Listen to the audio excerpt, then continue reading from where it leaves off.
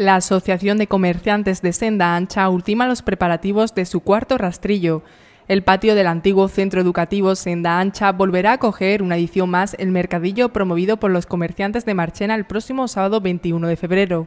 Volvemos a estar aquí de nuevo en el patio del Colegio Senda Ancha. Vamos a estar ininterrumpidamente desde las 10 de la mañana hasta las 8 de la tarde, donde nos vamos a reunir unos 15 comercios de diferentes facetas, diferentes apartados, todos de Marchena. Tendremos actividades, vamos a tener castillo hinchable, servicio de barra, tendremos también al final de, de la tarde sorteo de regalos, degustación de productos, o sea que aquí vamos a echar un buen día. Uno de los mayores atractivos es el precio de los productos expuestos, que van desde textil, alimentación o droguería hasta completar un amplio abanico de posibilidades. Además de los stand, también habrá actividades como el castillo hinchable, la barra, animaciones infantiles, degustación de productos, sorteos y talleres, orientadas a que todos los asistentes pasen un buen rato en esta nueva edición de Rastrillos en Dancha. Aquí ponen los 15, está el bar Raúl, Mateo con eh, los frutos secos, eh, Bono Confecciones, Rosa, en este caso Rosa tiene el bebé y a mí aunque me conocen por el bebé, pues no traigo bebé, evidentemente, porque no nos vamos a, dar competencia, entonces yo traigo señores caballeros. Eh, bisutería, castillo hinchable, eh, los artículos, ¿no, Laura? Los tuyos que son... de cocina, hogar y descanso eh, aceituna, un gimnasio, en fin. Hay una serie de actividades surtidas en la cual podamos mm, pasar un rato agradable y que el pueblo pues, lo disfrute y presentar.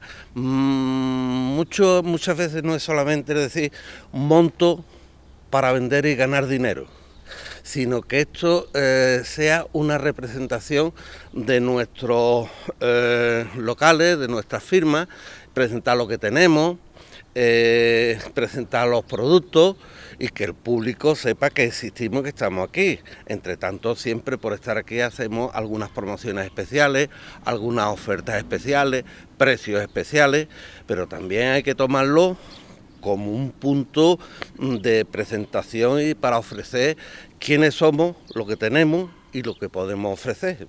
El rastrillo se organiza en fechas que coinciden con el cambio de temporada. La idea surgió en 2013 de la mano de cinco comerciantes que se unieron con el fin de hacer frente a la coyuntura económica.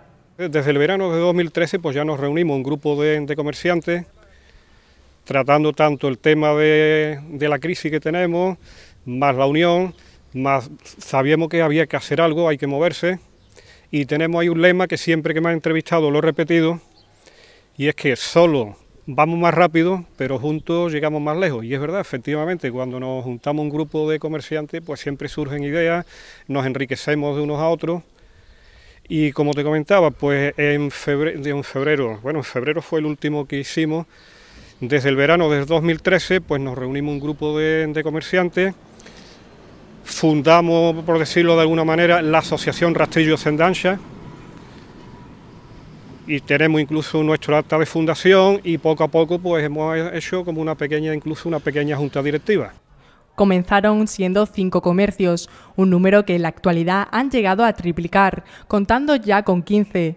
El objetivo de la Asociación de Senda Ancha es que los comercios ayuden entre ellos para que juntos puedan progresar. Ahora ya nos hemos integrado algunos más, porque lo importante es delegar, como dice Sebastián, antes lo llevaba prácticamente el todo, pero solo no se puede hacer. Entonces nos hemos implicado un poquito y la filosofía es, tener un grupo, pero que no nos hagamos las competencias, sino diversificar todo lo que podemos presentar al público.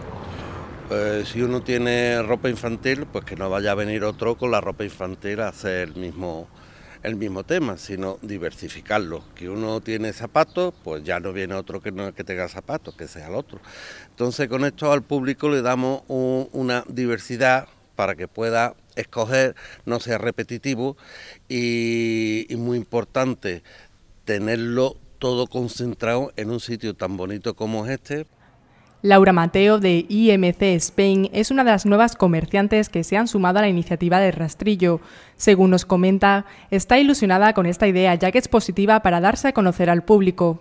porque nuestra sede está en Sevilla, pero en realidad yo trabajo en el pueblo. A mí cualquier persona me puede localizar en el pueblo, ¿no? Que por eso es por lo que he podido participar, porque estoy de aquí. Y en realidad pues tú dices, bueno, ¿y dónde voy con la maqueta del corcho? Porque yo voy directamente a tu casa, ¿no? Y te enseño los productos y demás, pero no tengo sede. Entonces para mí era una gran oportunidad, ya que debido a la crisis, al paro en el que prácticamente me encuentro en la situación, ¿no? yo siempre he sido muy activa, además aquí los marcheneros me conocen por mis actividades, por mi trabajo y porque siempre he estado aquí en el pueblo. ¿no? Y pues vi una, una gran oportunidad para, para mí en este momento. Y luego el ambiente que hay entre los mismos comerciantes es extraordinario, aquí la gente te apoya muchísimo, eh, te le echan ganas y cada día pues queremos mejorar un poco más. Y además que aparte de todo eso que no solamente está pensada la exposición pues para las personas adultas, sino también pensamos mucho en los niños. Desde la Asociación Senda Ancha animan a todos a acudir a Rastrillo y pasar un buen rato. Recordamos que será el próximo sábado 21 desde las 10 de la mañana. Invitar a todo el pueblo de Marchena y alrededores que se den un paseíto.